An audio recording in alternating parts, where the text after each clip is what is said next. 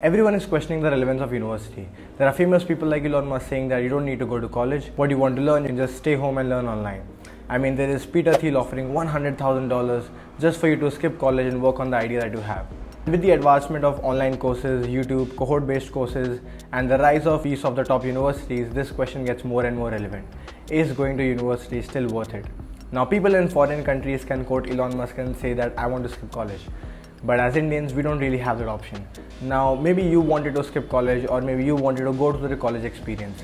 But one thing that remains important to understand is how we can get the maximum value out of college and how we can make these four years the most productive years of our life. So in this video, I'll talk about a thing called proof of work, which will help us gain the maximum value out of college. This video is divided into four parts, where I'll explain what is proof of work, how my university, which is Ahmedabad University, uses proof of work, how proof of work can accelerate your career and help you learn, and how you can use proof of work in your daily life. So if you're interested, let's dive in.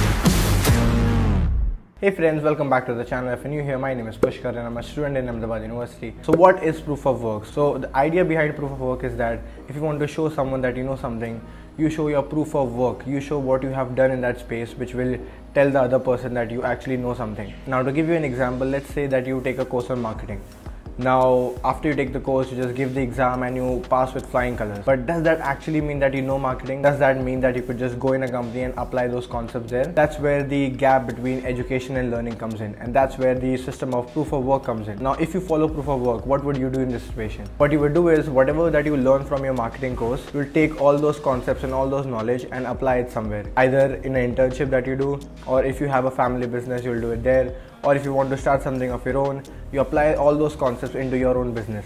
And then you test if the things that you learn in your class are still applicable to the real world.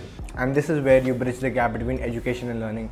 And this is the concept of proof of work. Now now ahmedabad university which is the university that i study in also follows the system of proof of work. Now it's not exactly similar to proof of work nor do they have the official name of proof of work but what happens is a lot of courses are not exam based course. They are project based course. So at the end of the course you won't have to give an exam you would have to make a project which will help you get the grades required to pass the course and move to further courses. Of course this is not possible for all the courses and not everyone wants to you know make college the most productive years of our life but this is the cases in most of the applicable courses in Ahmedabad University. And the value that you get after making something is just intangible. So let's understand how proof of work helps us. So the first thing that the proof of work does for us is helps us bridge the gap between theoretical knowledge and practical understanding. So a lot of times you might have seen that you think that you know something but when you actually go to do something you will understand your knowledge gap like when I was learning to code I would just watch videos and then I thought that I knew how to do this stuff but when I actually started to build something that's where I understood my knowledge gap. That's what happens when you actually try to build something.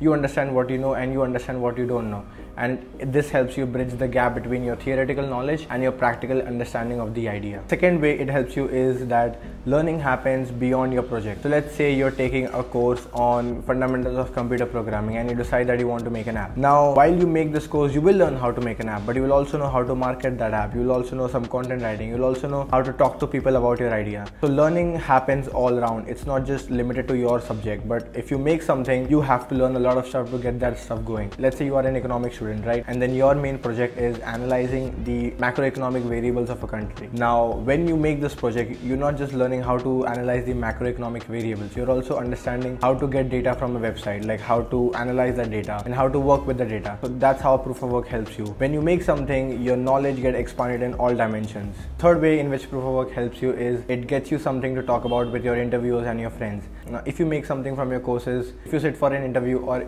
while you're just talking to your friends, right? Because you have actually done something, you have a lot more to talk about. You know, there is this thing in writing called if you don't have stuff to write about, go get a life.